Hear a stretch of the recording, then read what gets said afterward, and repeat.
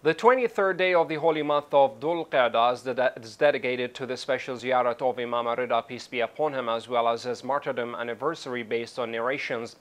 On these two uh, occasions, a mourning ceremony was held in the Honorable House of the Supreme Religious Authority, His Eminence Grand Ayatollah Sayyid Al Husseini Al Shirazi in the holy city of Qom. This ceremony was attended by a group of seminary students, followers of the Shirazi Authority, and distinguished guests. The speaker mentioned some of the calamities of the Ahlul Bayt, peace be upon them. This ceremony concluded with the recitation of the supplication to hasten the reappearance of Imam al-Mahdi, peace be upon him.